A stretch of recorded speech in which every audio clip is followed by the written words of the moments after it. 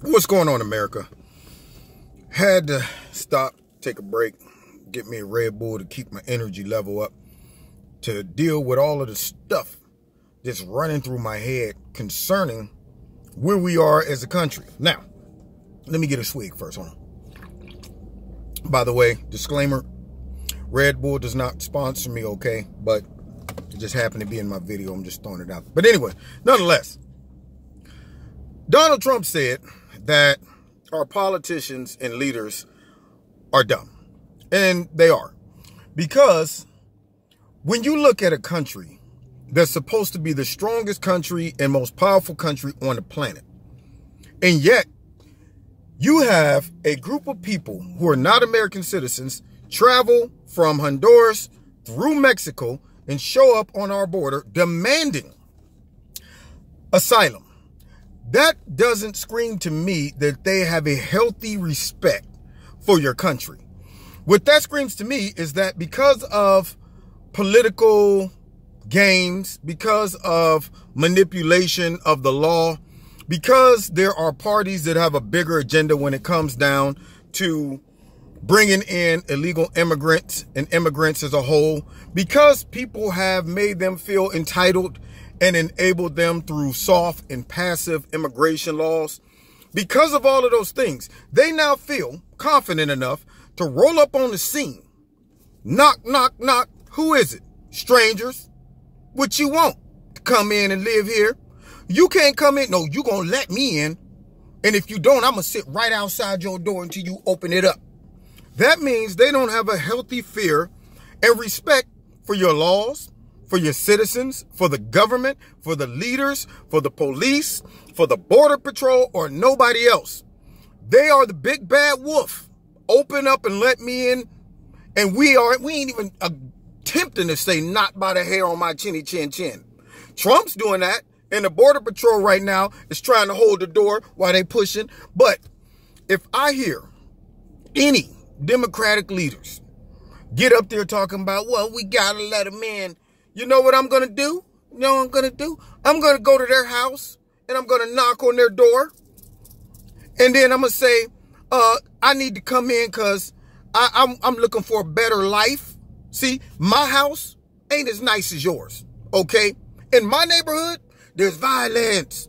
There's people shooting. Sometimes I hear guns just going off in the middle of the night. Pot out. Pat-ang, pot out. But-ang, that ain't that out. You know what I'm saying? And I'm afraid for my life. Now, I saw your house on the news and on Google Maps. You got this nice house, your pool. You got a pool. I ain't got no pool.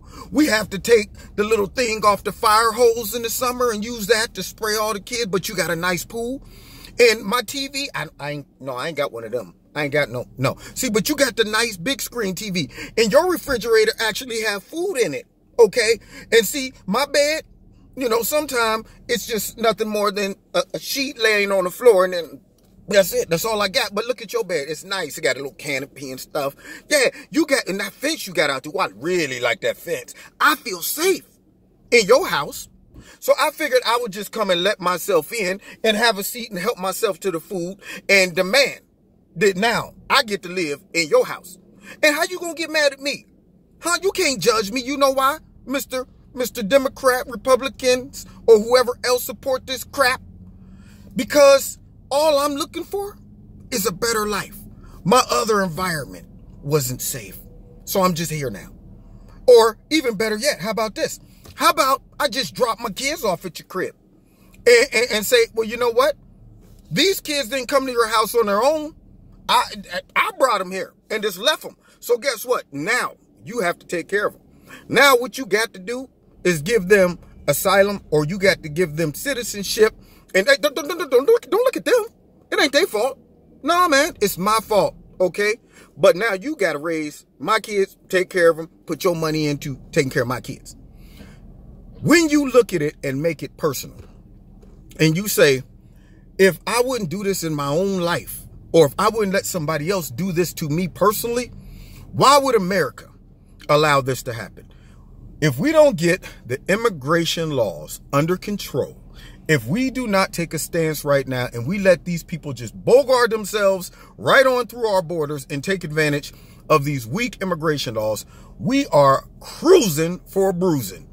And it makes me upset, not just the fact that they're coming for so-called uh, asylum, but it is the attitude behind coming for asylum.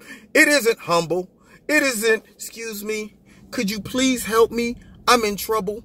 It is, I'm here, open up your door, let me in. You better. And if you don't watch, watch what I do. You think I'm leaving? Nope, nope, nope, I ain't leaving. The arrogance of this is amazing. If they won't go to Russia and bang on their border and say, let me into Mother Russia, or if they won't go to China, North Korea, or any other country and say, let me in, that shows they have a healthy respect for those countries.